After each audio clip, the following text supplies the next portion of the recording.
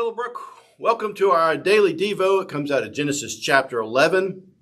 Just to kind of set the stage for you, we've already seen the flood with Noah and his family. And in the beginning of chapter 11, we had the story of the Tower of Babel, where the people came together and said, Hey, let's make a name for ourselves. And God said, No, that's not the plan.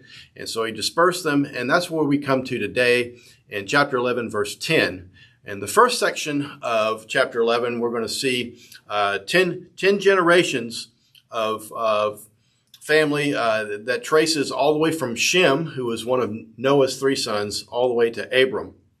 And in this uh, period of time of the 10 generations, we're looking at approximately uh, just under 300 years. It gives us a marker uh, that Shem had had his first son uh, two years after the flood. So it references uh, the flood and, and this time period in genealogies. And then the other interesting thing is uh, the average lifespan over these 10 generations is shortened uh, by 425 years from the time um, you get uh, from Shem, who's about 600 years old, to Abram, who's 175 years old. The other interesting thing is that these uh, lifespans are shortened about every fourth generation. So uh, the, the first uh, three generations after Shem, their average lifespan went from 600 years to 444 years. And then the next three go from 444 years to about three, uh, 234 years. And then the last three that concludes with Abram uh, winds up to be about 176 years old. And Abram, like I said, was 175 years old. Uh, travel from Ur of the Chaldeans, which is down here in this area of um, modern day southern Iraq, the Persian Gulf being just a little bit further to the south. Um, southeast. And uh, this is also the area where the Tower of Babel was built down, down in this region.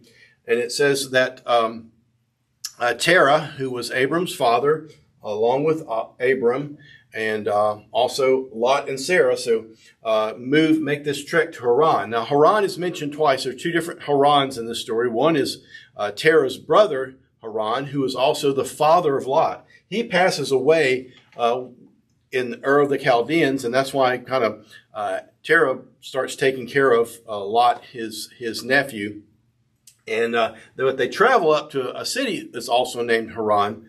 Uh, so they travel along uh, probably the Euphrates River, which is denoted by this orange line um, on up here, and they're making their way to Canaan, to the Holy Land, where God is calling them, but they uh, get short stopped up here. Uh, they stay here and settle here. The four of these um, until uh, Abram's dad, Terah, dies. And it's after Terah dies that they, Abram finally makes his way, along with Lot, uh, down into this area of Canaan.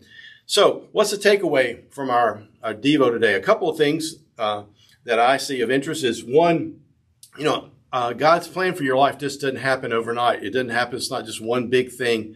Uh, it happens in stages. You know, they, they were living down here, uh, following God down here, then they, they moved up here, they stop here for a while, and they move on.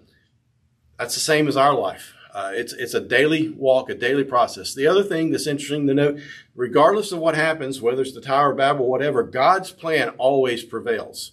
So even, and even when we make mistakes, we get back on track. The answer is to continue to follow God. So I uh, hope this uh, Devo has been in, uh, informative and encouraging, and I encourage you to continue to grow in the grace and the knowledge of our Lord Jesus Christ. Have a great day. God bless.